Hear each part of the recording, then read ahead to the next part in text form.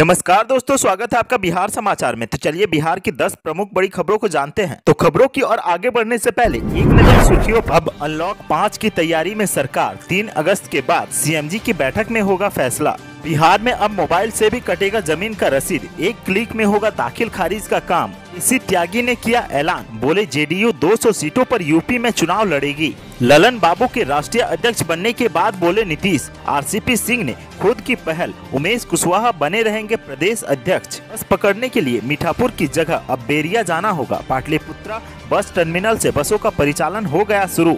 सरकार ने छठे चरण की शिक्षक नियोजन प्रक्रिया को रोका। पहले से बनी मेरिट लिस्ट भी बदलेगी। मेयर और डिप्टी मेयर के खिलाफ लाया गया अविश्वास प्रस्ताव हुआ खारिज। बच गई दोनों की कुर्सी। कोरोना को लेकर हाईकोर्ट सख्त, अस्पतालों की व्यवस्था और सुविधाओं पर मांगी सरकार से जानकारी। बिहार में उद्योग लगाने के नाम पर ले लिए करोड़ों रुपए निजी काम में किए खर्च। सीबीआई के पास मामला। जदयू की राष्ट्रीय पदाधिकारियों की बैठक खत्म। जनसंख्या नियंत्रण कानून पर भी पार्टी का रुख अलग।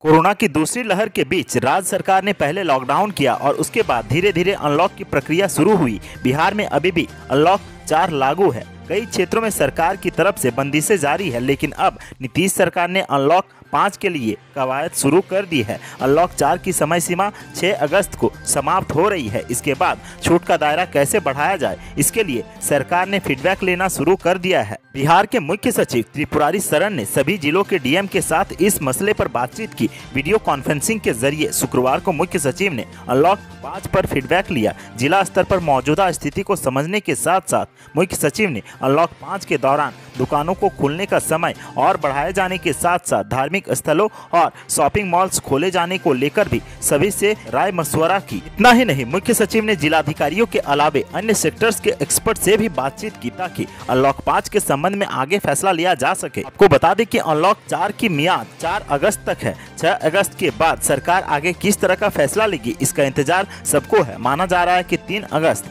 या उसके बाद आपदा प्रबंधन समूह, यानी कि क्राइसिस मैनेजमेंट ग्रुप की बैठक होगी, जिसमें अंतिम निर्णय लिया जाएगा। राजस्व एवं भूमि सुधार विभाग ने ऑनलाइन दाखिल खारिज आवेदन के लिए बने सॉफ्टवेयर को अपग्रेड किया है। विभाग ने जमाबंदी देखने में हो रही परेशानी को भी दूर कर लिया है। ऑनलाइन सेवाओं के लिए बनाई गई website Bihar Bhumi dot Bihar dot G O V dot in को अब नए लुक के साथ पेश किया गया है। ऐसी कई खूबियों के साथ राजस्व एवं भूमि सुधार मंत्री रामसूरत कुमार ने आज इसे लॉन्च किया है। अब लोग मोबाइल से भी ज़मीन का रसीद निकाल सकेंगे और दाखिल खारिज की प्रक्रिया भी मोबाइल के ज़रिए कर सकेंगे। दाखिल खारिज के लिए नए वेबसाइट के शुभारंभ के दौरान मंत्री रामसूरत राय ने बताया कि राजस्व एवं भूमि सुधार विभाग को सबसे महत्वपूर्ण सेवा दाखिल खारिज है, जिसे बिहार के लोगों को हम उपलब्ध करा रहे हैं। इस सेवा की कार्य कुशलता और उपयोगिता से विभाग के प्रति लोगों की अच्छी धारणा बनेगी। वेबसाइट की दिक्कतों को दूर करने के साथ ही अब इसे मोबाइल से इस्तेमाल करने लायक भी बनाया गया है। अब कोई भी व्यक्ति मोबाइल से ही आवेदन कर सकेगा और आवेदन की स्थिति भी पता लगा पाएगा। सॉफ्टवेयर में सुधार के बाद अब लोग आसानी से विभाग की ऑनलाइन सेवाएँ ले सकेंगे।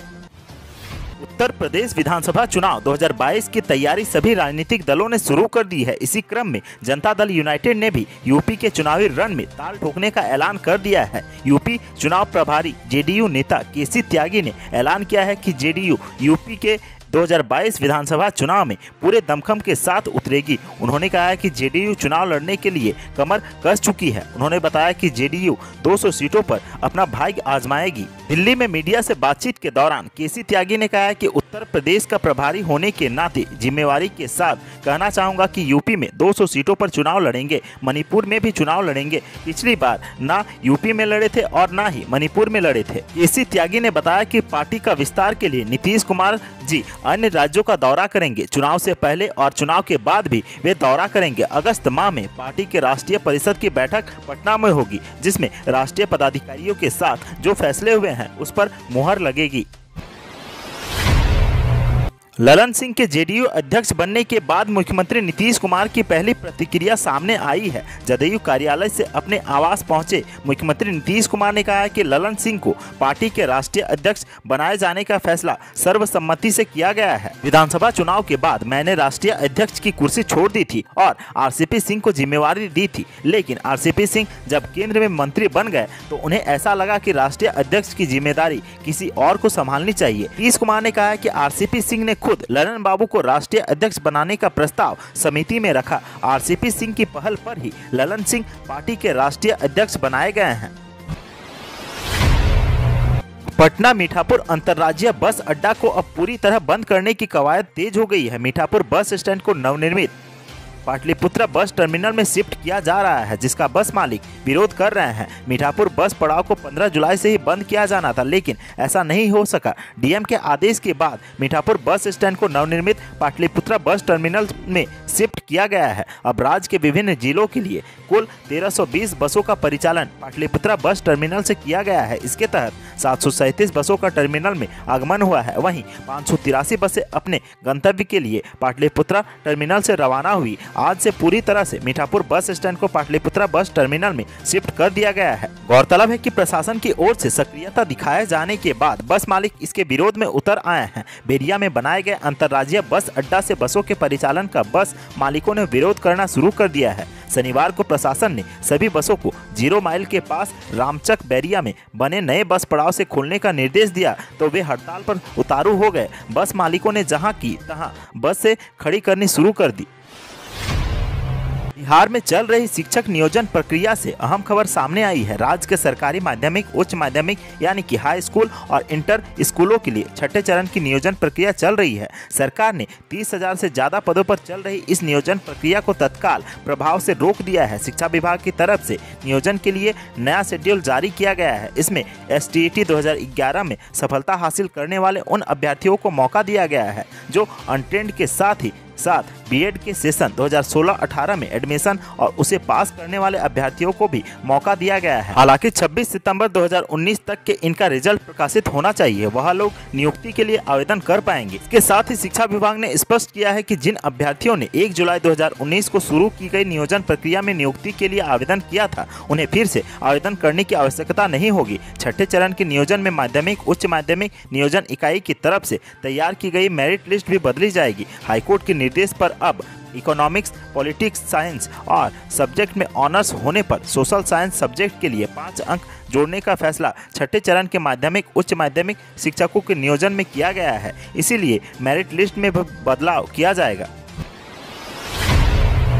इस वक्त की बड़ी खबर आरा से सामने आ रही है, जहाँ आरा नगर निगम की मेयर और डिप्टी मेयर की कुर्सी बच गई है। मेयर रूबी तिवारी और डिप्टी मेयर पुष्पा कुशवाहा पर लगाया गया अविश्वास प्रस्ताव खारिज हो गया है। अब रूबी तिवारी, महापौर और पुष्पा कुशवाहा उप महापौर की कुर्सी पर बनी रहेंगी। मेयर और डिप्टी मेयर के भाग्य का फैसला आज हो गया है। मेयर और डिप्टी मेयर पर अविश्वास प्रस्ताव लाया गया था, जो आज खारिज हो गया है। हंगामे के आसार को देखते हुए आरा नगर निगम के बाहर मजिस्ट्रेट और भारी संख्या में पुलिस के जवानों की तैनाती की गई थी। और तलब है कि नगर निगम के मेयर रूबी तिवारी और उप मेयर पुष्पा कुशवाहा के विरुद्ध 24 जुलाई को विक्षुब्ध पार्षदों ने अविश्वास प्रस्ताव पेश किया था जिसके बाद अविश्वास प्रस्ताव पर बहस एवं मत विभाजन के लिए 31 जुलाई की तिथि निर्धारित की गई थी। नगर निगम की महापौर के विरुद्ध 17 एवं उप महापौर के विरुद्ध 19 पार्षदों ने अविश्वास प्रकट करते हुए कई तरह के आरोप लगाए थे लेकिन पार्षदों द्वारा ला, लाया गया अविश्वास प्रस्ताव का आज खारिज हो गया है।